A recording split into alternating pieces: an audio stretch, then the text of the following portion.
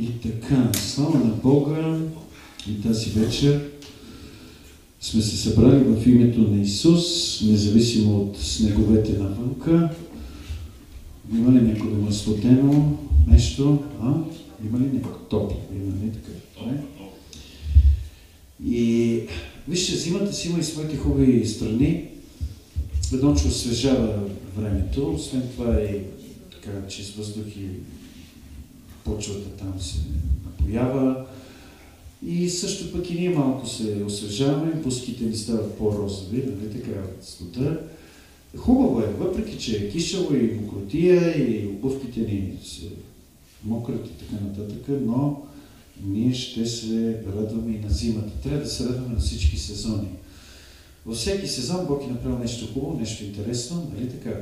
Така че и тази а, зима ние сме радостни. Ето, освен това, пък това е първия сняг, ако може така да се каже, по-голям, нали така?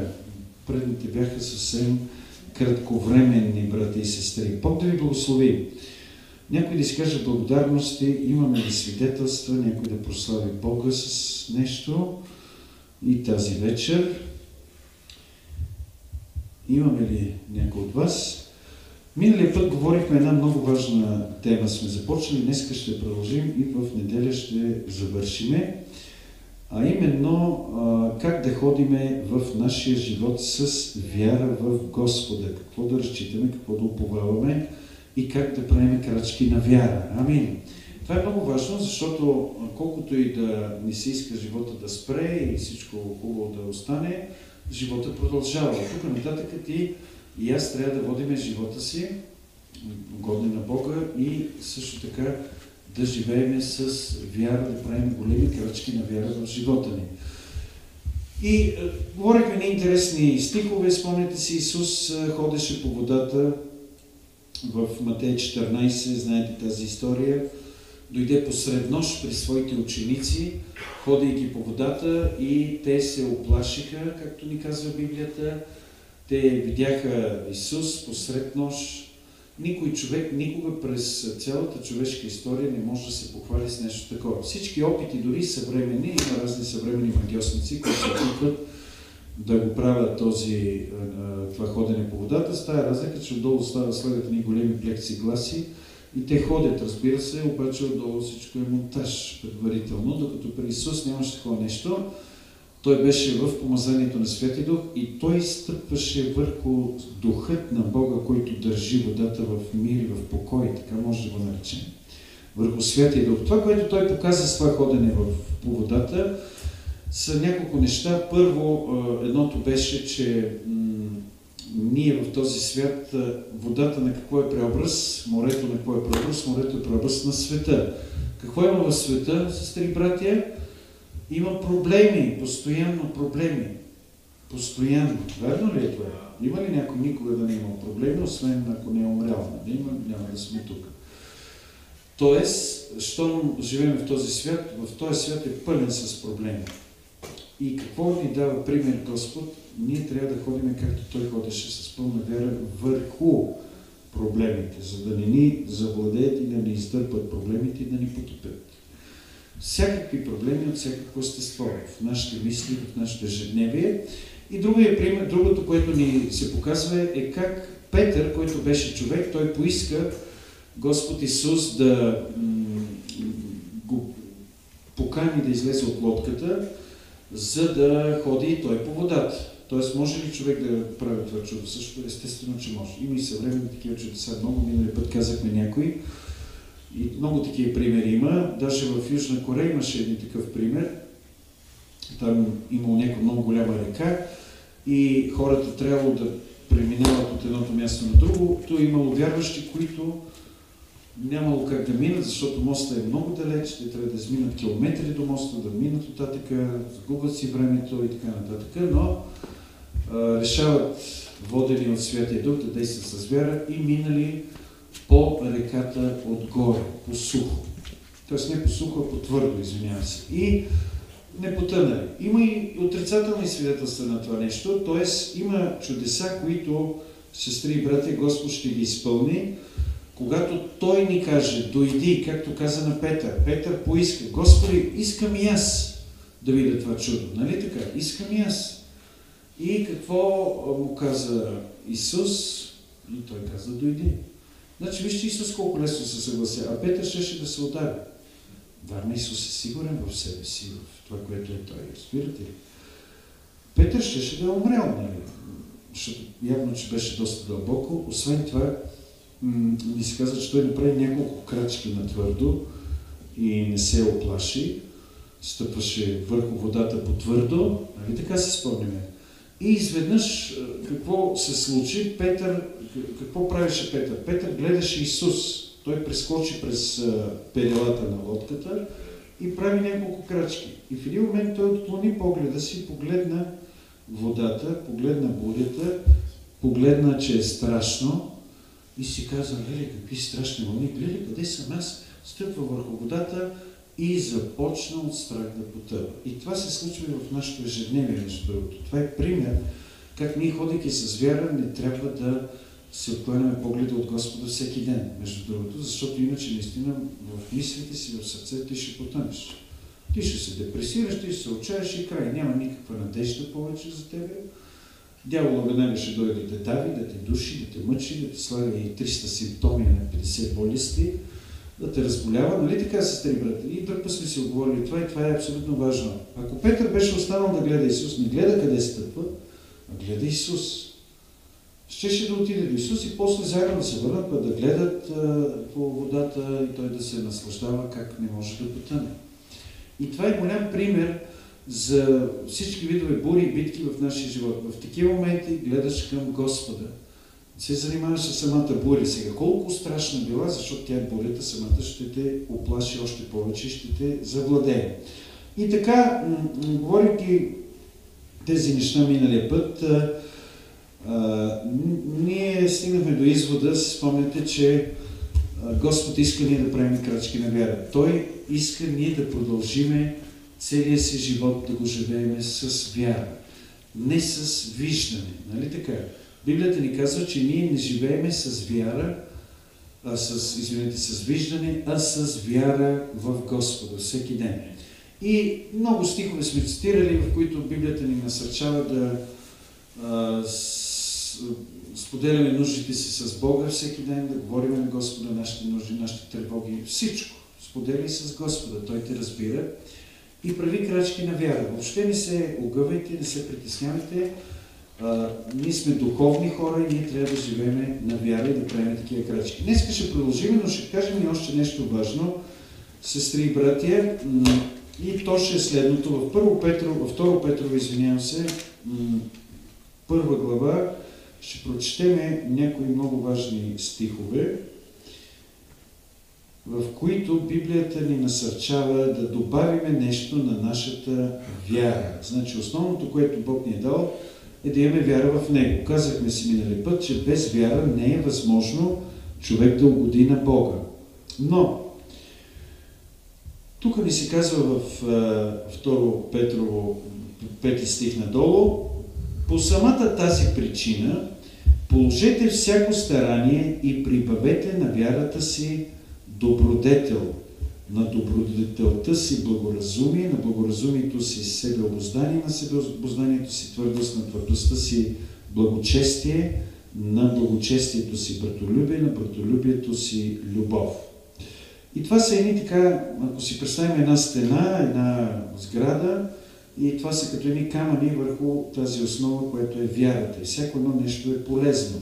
Но вижте как завършва тук това, тази препоръка да добавиме добродетели и всички тези неща, защото ако тези добродетели се намират у вас и изобилстват, те ви правят да не сте безделни, нито безплодни в познаването на нашия Господ Исус Христос. Тоест, ако ние имаме вяра и правим крачки на вяра и започнем да добавяме тези неща, които четем тук, тези добродетели, тези, това благоразумие, за което днес ще говорим и тези неща, които се изредиха по-надолу, тогава ние не сме вече безплодни, нито безделни, се казва тук.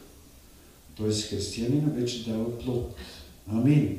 Значи нашия плод, освен да говорим на хората за Бога и хората да се спасяват, нашия плод е и ние да изграждаме върху нашата вяра тези добродетели. И т.е. да имаме промяна, свързана с тези добродетели. Какво е добродетели? Знае ли някой с две думи? Добродетели. Чували ли сме тази дума? Самата дума говори какво означава. Добродетели, това са вършени на добри дела. И по-скоро се има предвид като качества в един човек, отколкото само да върши на добри дела, което е полезно, но това са едни качества, които са много полезни. Значи Библията никога не е насърчавала буйността в нашия характер. Нали така? Познаваме ли кой е човек да е буен? Знаем ли някои такива хора? Също Библията не насърчава гневливостта, сприхавостта, нервността и всички тези, това е абсолютно сатанинско и това е от дявола. И ако човек не може да се владее, такъв човек изобщо е много далече от нещата все още. Той може да има вяра, но той трябва да работи точно по този въпрос, да натрупа тези добродетели. Разбира се, това си иска време, както една сграда за да се построи си иска време, но а, всички тези добродетели и добри качества, кротост, себеобоздание, скромност и всички тези неща са абсолютно важни и полезни ние да ги носиме в нашия характер и също така да знаеме, че Господ ги цени тези неща. Защото света не цени тези. Света, колкото един човек е по-разюзнен, по-боен, по-истеричен, по-ненормален, психически обладан, значи той е голямото нещо. Нали така? Той е много славен, много велик и го хвалят. Вече му ръкопляска. И кого го хвалите? Той пътува зада така. Обаче те това не го те самите и те не знаят, че зада пътуват и затова го хвалят. Но ние не живеем от тази хвалба и от светската слава, ние живеем от това, което Бог хвали, а Той хвали добродетели в нас. Нали така, сестри брат? Добри качества. И също се казва тук в да прибавиме на вярата си, т.е. първо се казва да положиме всяко старание, да прибавиме на нашата вяра. Т.е. трябва да се постараеме. Всяко старание. Трябва да се стараем вярващи. Ние си мислим, че като станехме вярващи и живота сам ще ни се оправи, нищо подобно. Трябва да започнеш много да се стараеш. И първото върху което да се стараем е да прибавяме тези добродетели. И имайте предвид, че колкото повече тия добродетели се изграждат до вас, толкова повече околните няма как да ви разберат изведнъж. Те ще кажат, бе ти вече не си такъв луд, какъвто беше, ми ти не си такъв ненормален, ти ми говориш псовни, а пък ние говорим совни, ние си псуваме, както се едно пиеме шоколад, течен. И така нататък, т.е. в нас се случва една сериозна промяна. И тази промяна е хубава и ние я харесваме и няма да се откажем от тази промяна. Защото тази промяна, първо, че променя самия теб и ти се радваш на, на тази промяна в твоето естество и ти като знаеш себе си какъв си бил и какво се е случило с теб, просто наистина прославяш Господа защото той заслужава, че той може да те промени. А това кой какво ще да каже, изобщо не ни интересува, сестри брат. Мнението на света е мнението на Сатана. Ние мнението на Сатана изобщо не го ние взимаме по внимание, а е най-важно мнението на Господа за нашия живот. Нали така? И сега вижте какво се каза тук. Прибавете на вярата си добродетел, на добродетелта си благоразумие. Благоразумие. Какво значи благоразумие? Знае ли някой? Какво е благоразумие? Чували ли сме тая дума? М? Да, от самата дума се подсказва благ но нещо малко повече, което дори в околния речник го има. И айде аз ще ви кажа, благоразумие е Мъдрост и разум смес заедно. Това значи благоразумие. Тоест, ти имаш вяра, правиме крачки на вяра, уповаваме на Бога за целия ни живот. Изведнъж обаче се налага да добавим и малко мъдрост и разум. Смес. Нали така? Това е както една рецепта за една манджа, и какво се прави една супа, как се прави? Слага се, какво се слага? Първо вода, нали? Или водата последно беше? Първо вода, добре. После се слага топче. Само, че не топчетата на Стефито, там на момчетата, местни топчета. А те не се ли слагат последни тия точки? Не, добре. След това се слага застройка, карфиол, там, кромитло и въобще си слагаш, прави супер. И между другото бяхме в Мексико преди години при едни вярващи и трябва да ви кажа, че най... ядохме една от най-тъжните супи в живота си. Сега ще разберете какви аз съм го казал първи път, но и там ни поканиха хората, много искрени и вярващи, така да си едни нисички толковки най-високите са толкова. И даже самите им хотели са направени с такива размери. Ние бяхме толкова шокирани, бяхме с пастор Пламен Петров.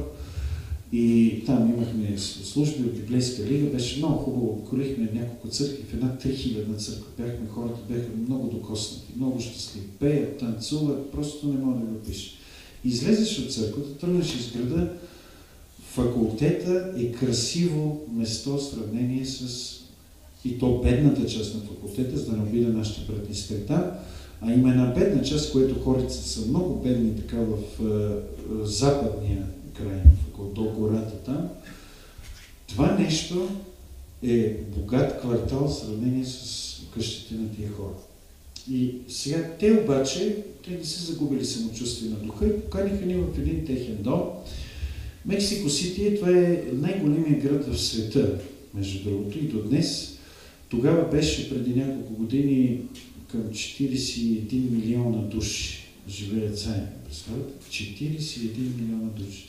И всеки иска да яде, всеки иска на работа да ходи, да печели. А? 41 милиона. И знаете ли какво е движението? Движението беше направо трагедия. Ние с един бус ни водих от Аерогард и през цялото време там едни вярващи ни разхождат с цяло Мексико. И едни магистрали по 6-7 платна в едната посока и карат бързо. Пълно е с техни маршрутки, в които се возят повечето. Маршрутките претъпкани вътре. А така са се натъпкали и те, защото ходят на работа, връщат се. И нашия брат с буса пуснал християнска музика, ние се смеем и се радваме. И на едно место спряхме на едно светофар и седиме сега, чакаме, говориме си и изведнъж някакъв отзад, ба, като ни удари и бусът се подскочи, ние се навикосахме.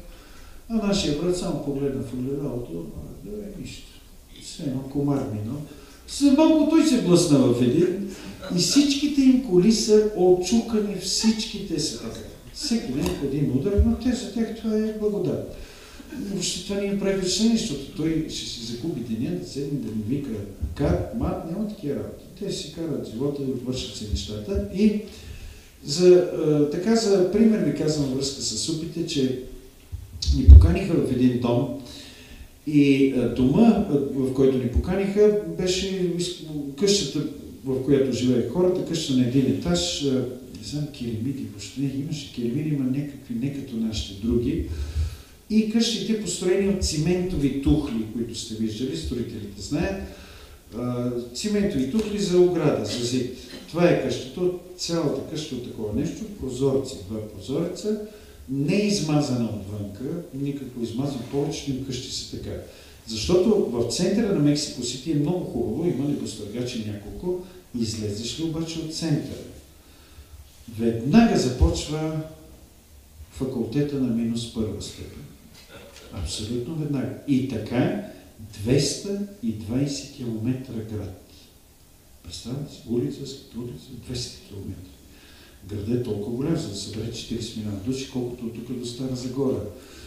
Както да ние въобще ни, ни било и на кълче ще го обикаляме, ние ходим повече по центъра, гледаме хубави сгради, разхождаме се, даже на една от сградите, за съжаление, понеже той е на едно високо плато на 2000 метра височина, т.е. т.е. височината на Витош. Все едно на Витош отгоре е построен този град, но той е грамадно плато. И, е, и там има и всякакви животни, боболечки, работи. И вървиме си така с моят приятел брат Пламен и изведнъж една такава хлебарка. Но такава не сте виждали. И хлебарки виждали сме. А такава само на филмите. Ето такава изкочи от едно мазе и пред нас и търти да бяга, мине през цялото шосе и в другия вход другото мазе.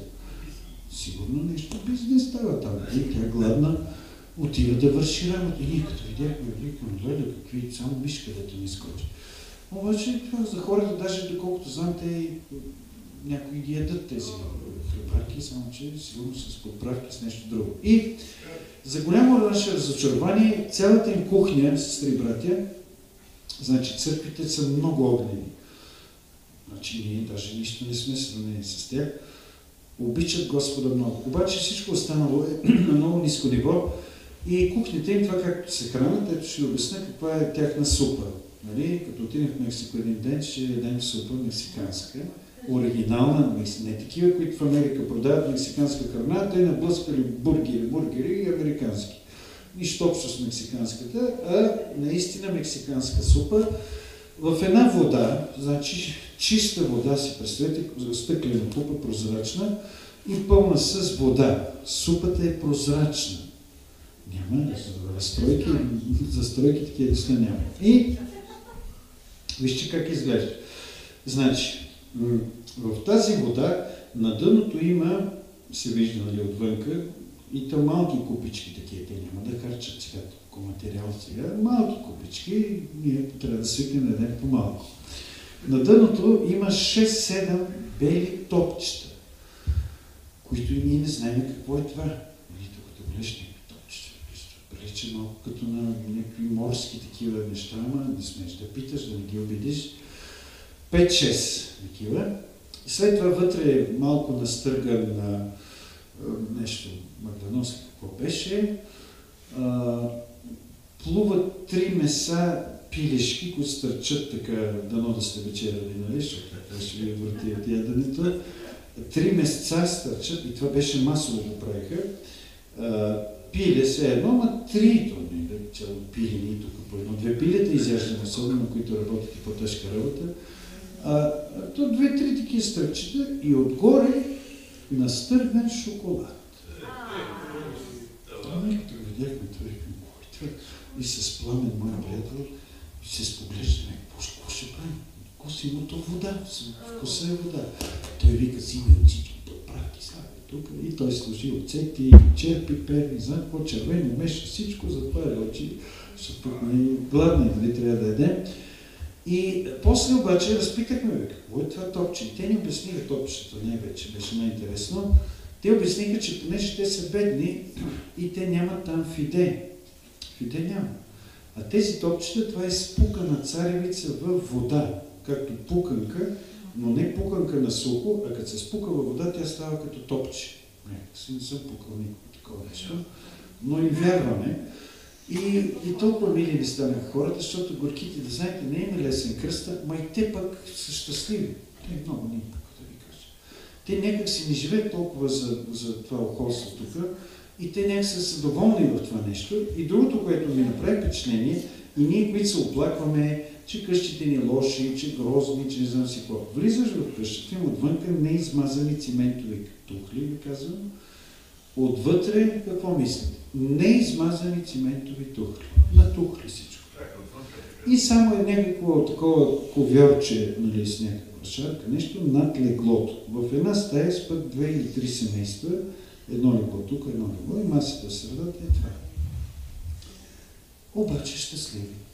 И най-смешното беше в хотела, защото нали, казвам, че всяка вечер сме в различни църкви обикаляне и трябва да се превърнем в хотел. И сега в хотела, а, нали, за съжаление, те са направили всичко според техните стандарти. Те не са вярвали, че някога някой в България ще дойдат по 2 метра там, няма такова нещо. И отиваме сега, първият проблем, отиваш на огледалото, нали, трябва да се видиш, вече тази ще има служба, огледалото сложено от тук надолу, защото те са толкова високи. И ти, за да се видиш, нали, огледалото ти до корема. Ще гледаш, си гледаш корема, нали, да си видиш лице. Ужас! Или трябва да коленичиш пред огледалото, за да можеш да си оправиш прическа. Трагедия. И сега не мога да се обадиш долу на хотела да кажеш, вижте, кое е огледало, не ви ли е срам?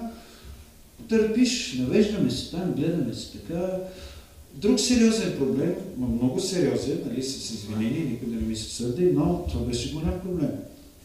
Туалетната е с размерите 1 метър на 1. Нали, говорим само туалетната и банята различни. 1 метър на 1. Обаче, така е направено, че е, мексиканци ниски, като седнат, затварят си вратата и проблеми. Обаче, ние сме по-високи, като седнеш и вратата му за краката ти е двойка. И айде ще преглътнем някъде. Да, но туалетната е в спалната точно. Но и сега. И, и така или иначе, човек има най-различни нужди, нали? И малко трябва да ляга. Тоест, трагедия, сядаме и вратата така в, в туалетната не може да се затваря. Също в банята някакво душче там от стената излиза и като отидеш да се къпеш, водата е все едно си пуснала от една ръждива кофа, е такава ръждива вода. Отвратително, то ти лети в очите, те даже не преболиха тази вода да не се пие въобще. Ама хората щастливи, кретат си живота, се прави се за Господа и ни заведехме на църква, брати и сестри. На църквата беше построена, т.е. те не, въобще нямаше строеж. Църквата е с хората, имаше към стотина души, и стъпаниха ли отпред там, защото говорихме. И какво представлява църквата? Качва се на последния етаж на една сграда, която е 4-5 етажна и покрива е равен. Нагоре е небето. Отстрани някои други сгради, небето, но понеже много пече лятото, сложили едно голямо червено плътнище на четири колеца, за да не вали, да не пече. Това е. Това е църквата. Стени, такова нещо няма. Една от църквите, имаше и хубави църкви, които бяхме. И, и какво да ви кажа, обаче хорицата с такава любов, Господи, пеят много силно. И ние като се разпяхме, и такава благодат. И тогава си кажа, Господи, Вие си е вхвърляме в скъпи сгради, в такива неща. Дали има смисъл понякога всичко това? Естествено, че има за нашите условия, но за техните условия смисъл беше да намерят Спасителя и те го намират. И те са много активни, обикалят. Имате предвид, че всички мексиканци са вярващи. До един. Само, че те нямат а, а, много църкви видове, имат евангелски църкви и католически. И те са или католически вярващи, или евангелски. Няма невярващи въобще там. С тая разлика, че нали, те, нали, някои са по-силно вярващи, други не толкова, но никой, ако го питаш вярващи в Бога, да, всички вярват. Някои вярват, но символично, но пак вярват.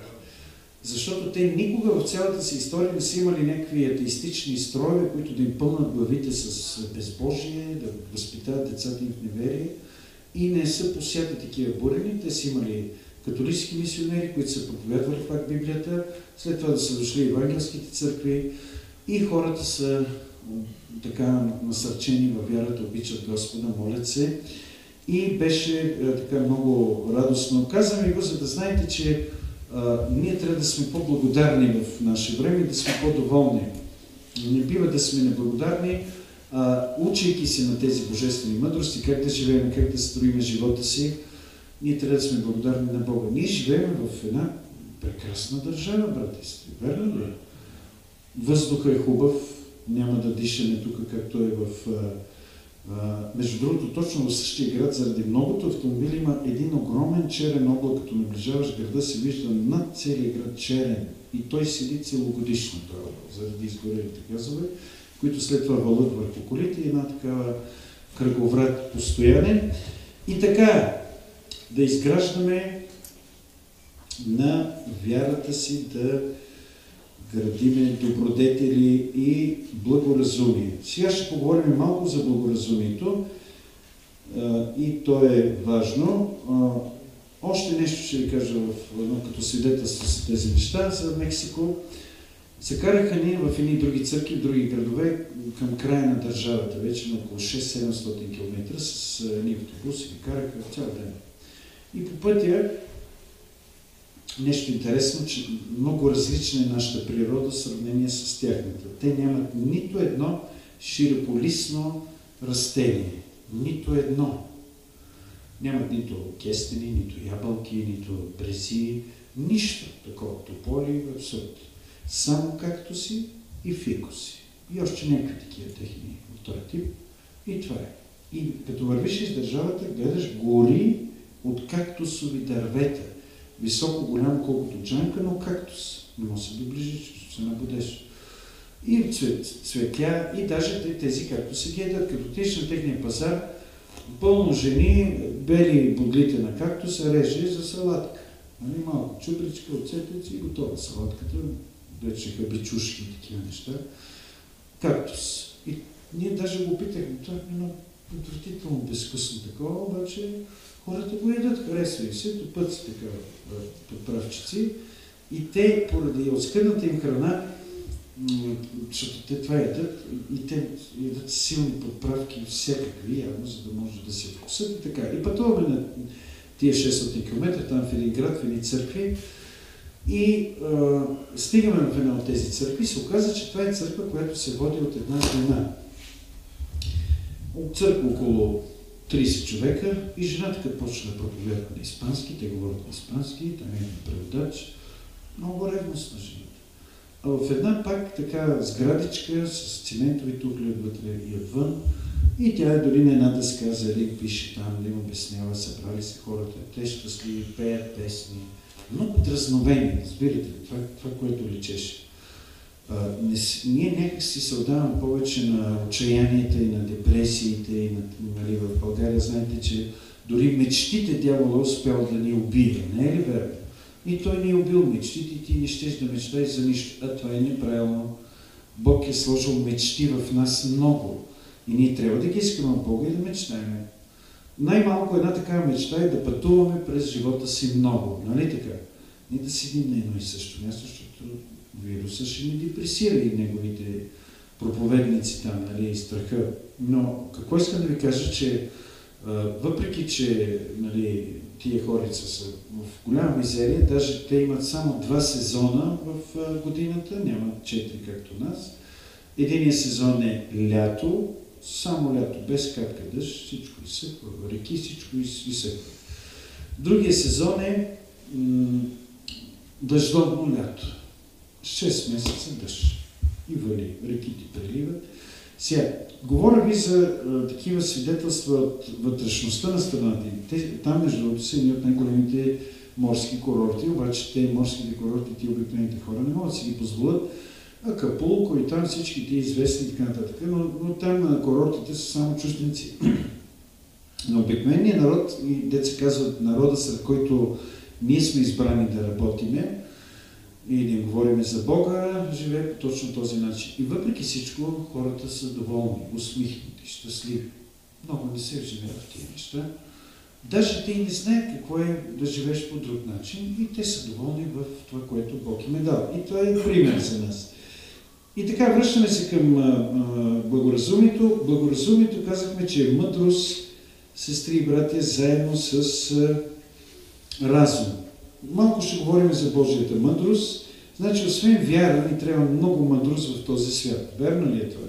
Трябва ни божествена мъдрост. Какво е мъдростта? Знае ли някой? Може ли да кажем какво е мъдростта? Какво е Може ли да обясним, да дадем дефиниция на мъдрост? М? Мъдростта, добре, така ще, ще ви го обясня. Какво е знанието? Знанието какво е? Не, знанието не е мъдрост. Знанието и мъдростта са две различни неща. Ти можеш да имаш мъдрост, но да нямаш много знание. Ти можеш да си пълен с знание, но нямаш капка мъдрост в живота. Две различни неща. Полезно е да имаш и от двете, но са две различни. Какво е мъдростта? Мъдростта е начина по който ти да правиш нещата в живота. И как да вярваш. Начина. Как. Това е мъдрост. Мъдростта ти казва как. Знанието ти казва кое къде е и така нататък. Това ти казва знание. Но мъдростта ти казва как. Разбира ли? Как да живееш, за да годиш на Бога, как да следваш Господа, какво да правиш, за да имаш мир, как да опазиш себе си от е, зависимости и така нататък. Как? Това е мъдрост. Освен това, ние имаме много нужда от житейска мъдрост, която да ни помага в нашата женеви. Какво да направиш, за да можеш да успяваш. И всеки има своята си мъдрост и някои имат повече мъдрост и затова успяват, други нямат достатъчно мъдрост и някакси не успяват чак толкова. И едните и другите Господ би ги приел и Той ги приема, но Като цяло мъдростта ни дава а, отговор на нещата как. Божествената мъдрост също. И сега тук в книгата Притчи, 4 глава, ни се казва следното. Сестри и братя, Притчи, 4 глава, а, отиваме там. Вижте какво ни учи Библията. Говори, говорихме, че вярата е нужна. Да, дай нещо от смущение. Вярата е нужна, но мъдростта също е много нужна. И това ще го продължим да го говорим. Следващия път пък ще говорим за другите а, така тухли върху този строеж, за който говорим, защото без да имаме този строеж в себе си, значи вяра имаме, но сега ни трябва благоразумие и добродетели. След това и другите неща, които ще изредиме, за да може ние да успешно да преминаваме през този свят и да не бъдем безплодни. А и също така учете децата си на тези мъдрости, ето ще видите защо. Вижте в притчи 4 глава, какво се казва. Послушайте чада бащи на полука и внимавайте да се научите на разум. Понеже ви давам добро учение, не оставяйте наставлението ми, защото и аз бях син на баща си, гален и безподобен на майка си. И той ме наставляваше и казваше, нека държи сърцето ти думите ми, пази заповедите ми, ще живееш. Придобивай мъдрост, придобивай разум, не забравяй нито да се отклониш от думите на устата ми. Не я оставяй, мъдростта става въпрос, и тя ще те пази. Обичия и тя ще те варди. Главното е мъдрост. Придобивай мъдрост и при всичко, що си придобил, придобивай разум. Въздигай я и тя ще те въздигне, като я прегърнеш, ще ти докарва слава, ще положи на главата ти красив венец, ще ти даде славна корона. Слушай, сине мой, приеми думите ми и годините на живота ти ще се умножат. Амин. Цялата тази глава е свързана с Божествената мъдрост и Божията премъдрост е нещо уникално, брати и сестри. Не е ли така? Това е, не само естествена, но и свръхестествена понякога и Бог ни е ни влага тази божествена мъдрост, която да ни помогне за нашето ежедневие. Всяко нещо направено с мъдрост е от Бога и то ще устои. Всяко нещо направено по безумен начин, то ще бъде рано или късно разпаднало се и така. Тоест, главното е, казва тук, мъдрост. Мъдростта ще докара живот на твоите години. Амин. Сега, ние може много да говорим дали ще, още мъничко ще поговорим, защото от времето да не би да го прескочим и други път ще говорим също. Но а, вижте какво значи мъдрост.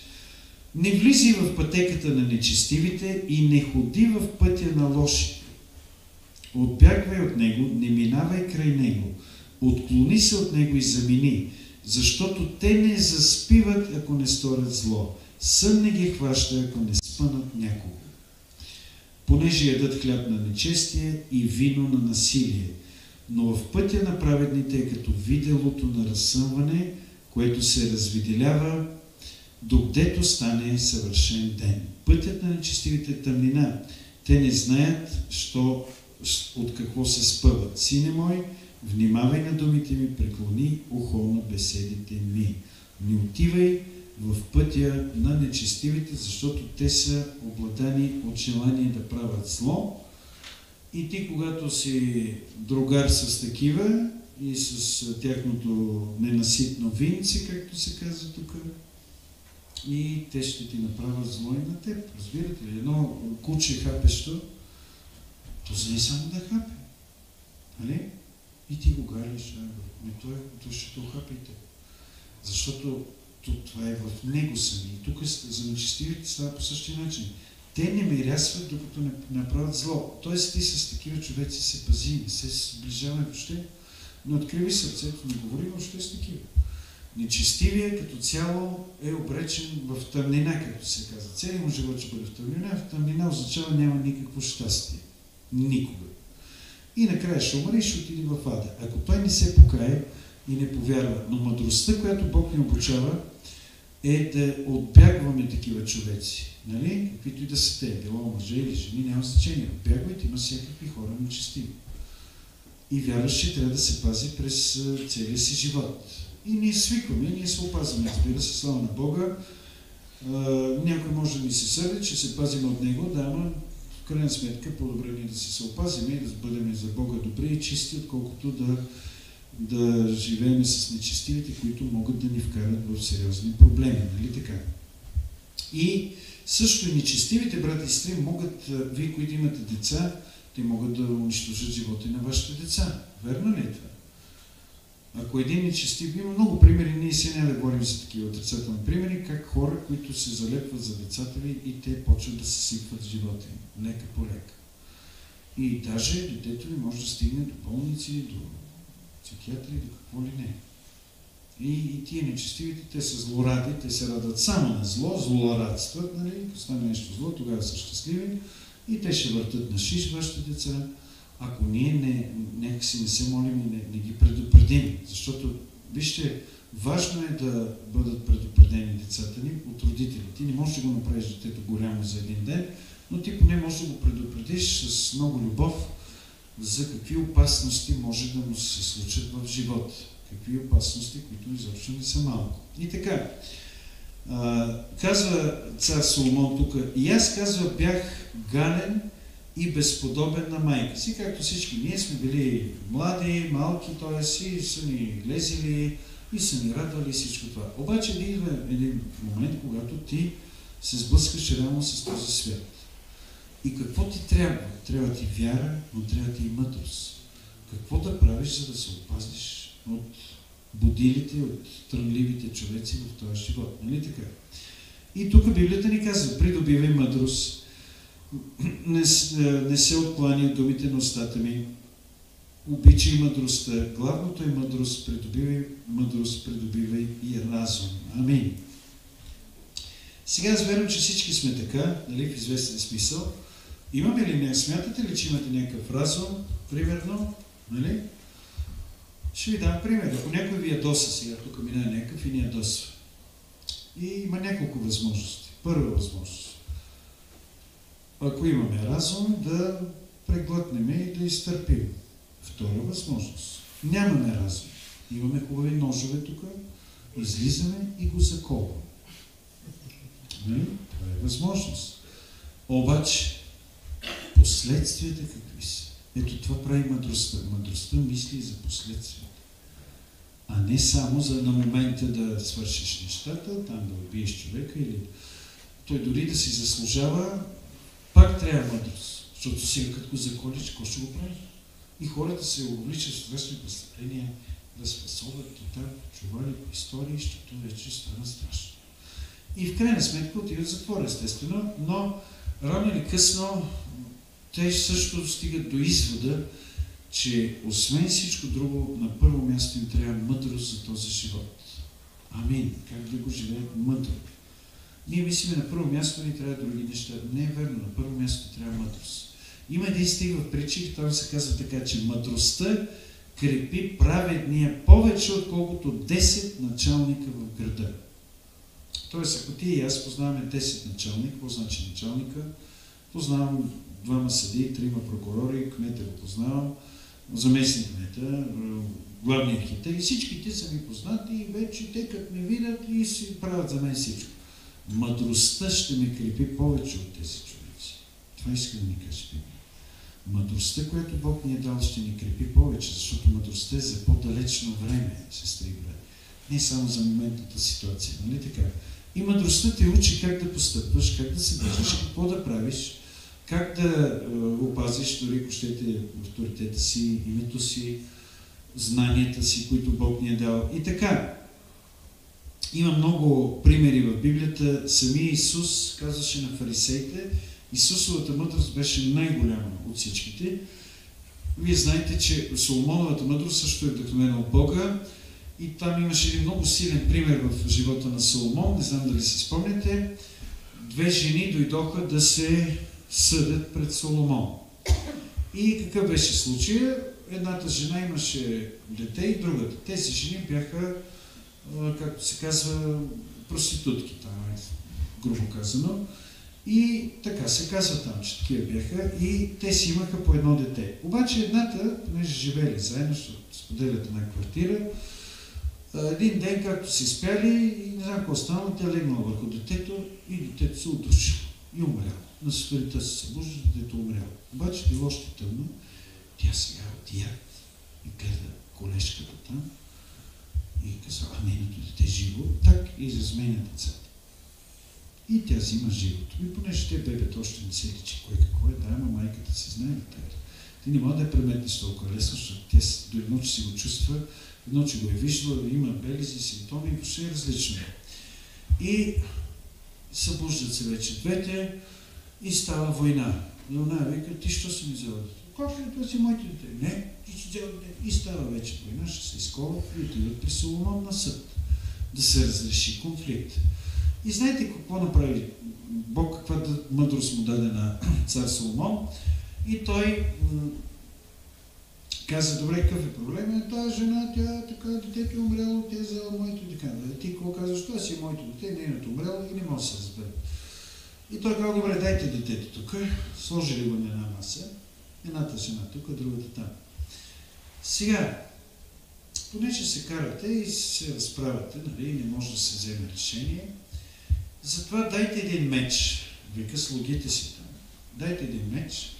Дават му един меч. Сега детето, бебето, ще го разделим през средата на две и половината ще отиде за едната жена, половината за друга.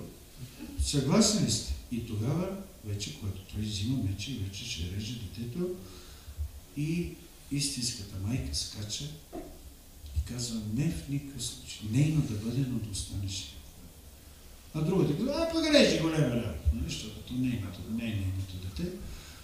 И тогава цар Соломон каза, ето е майката, ай, детето на нея. Разбирате? Ето това е божествена мъдрост. Как да се разкрие в даден случай ситуацията, за да се разбере истина, трябва мъдрост. Исус носеше такава огромна мъдрост за всички. Идват при Исус и му казват, Учителю, да даваме ли данък на кеса или да не даваме? И сега ти трябва да си най-тъпия, че да не усетиш, че тези те подмятат тук и те изпитват. Исус усещаше чрез духа си и той каза, да, добре, ще ви отговоря, дайте една монета тук. И те дават сега. И те не разбират, че той знае всичко и той е Бог. И кой е, на кой е този образ тук? И те е Кесара, защото Кесара е тогавашният управник на римски император, т.е. като консула на римски император в Израел. Добре, тогава. Давайте кесаровото на кесара, а Божието давайте на Бога. И коректно. Тоест, кесара като иска парите, да ги давате.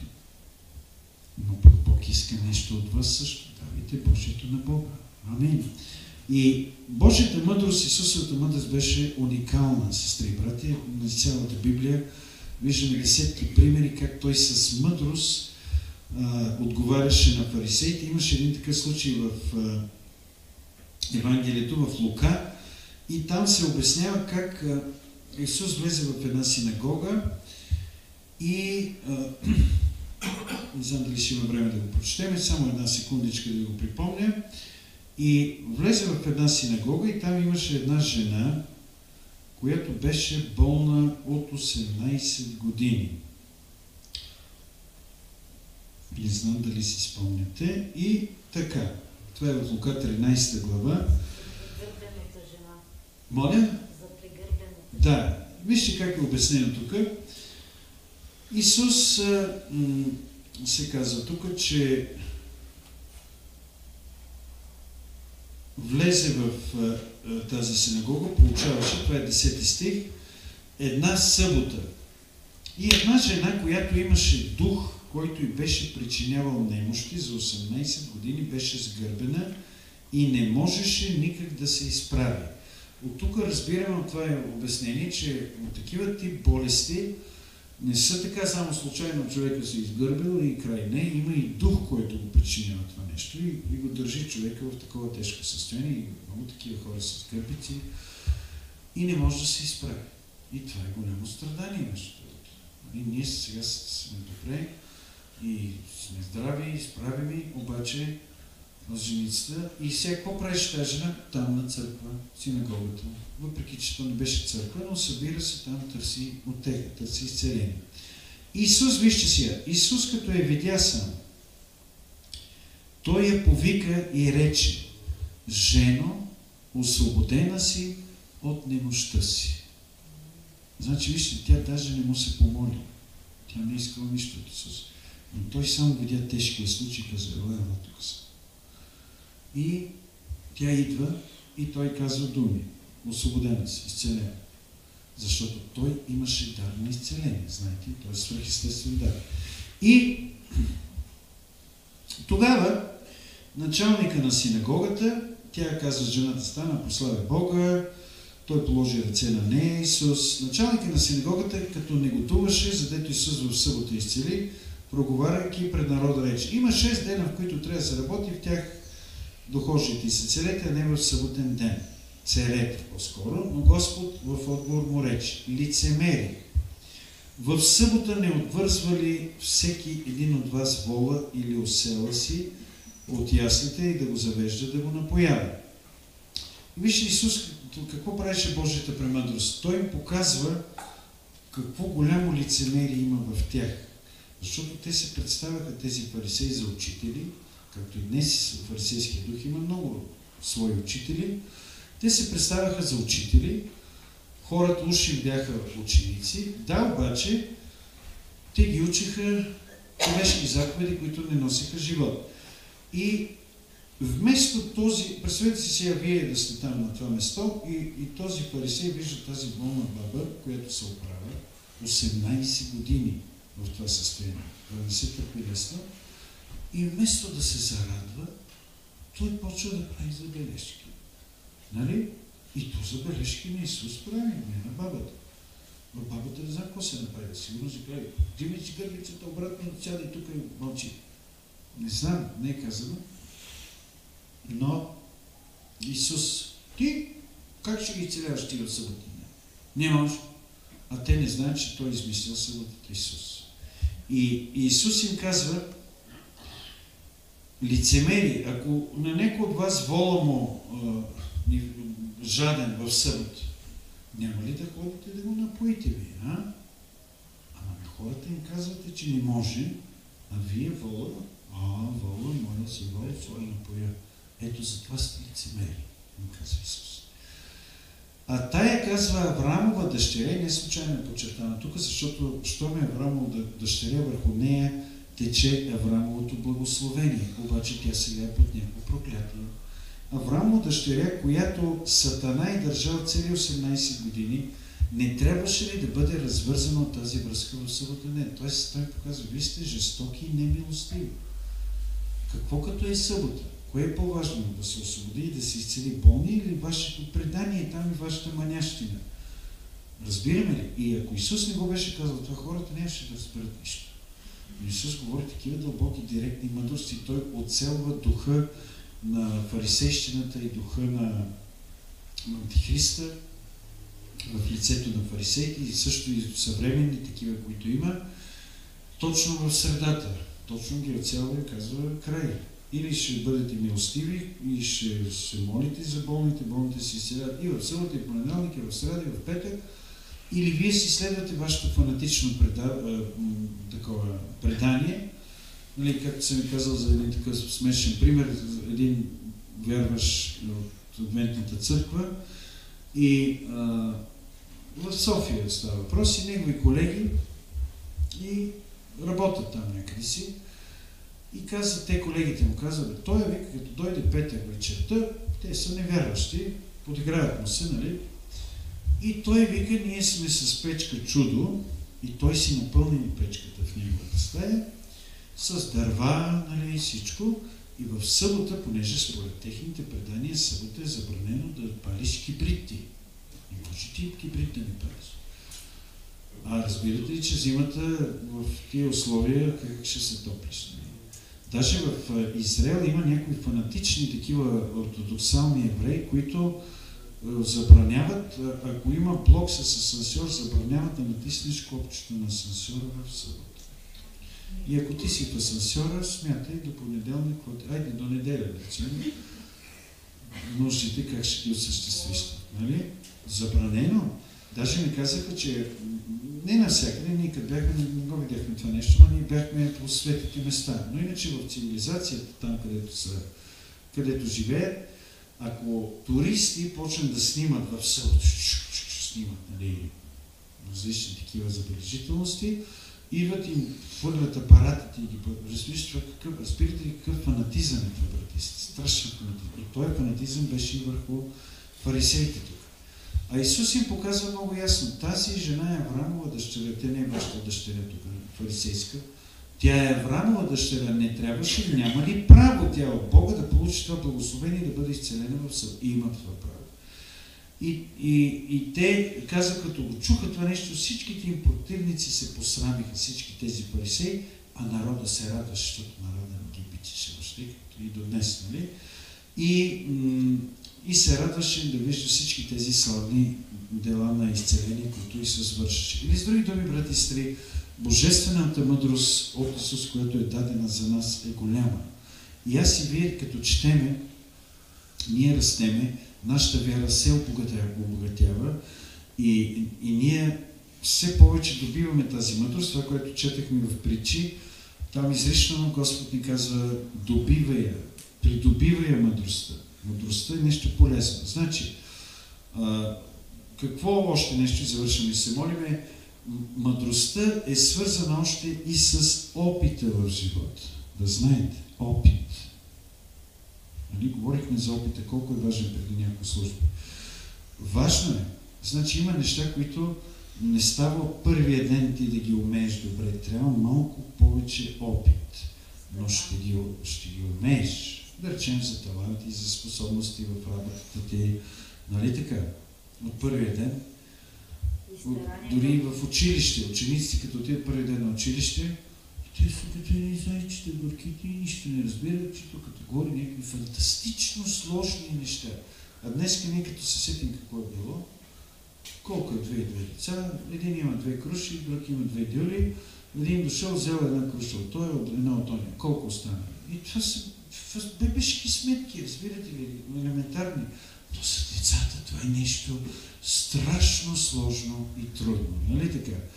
Но когато добиха опит, добиха мъдрост, вече тези задачки не, не са трудни. И във всяко отношение, във всяка област. Тоест, брати и сестри, добивайте мъдрост и опит и вяра през тази година от Господа. Това ще ви е от полза за целия ви живот, за всичките ви бъдещи така, планове, благословения, ако щете.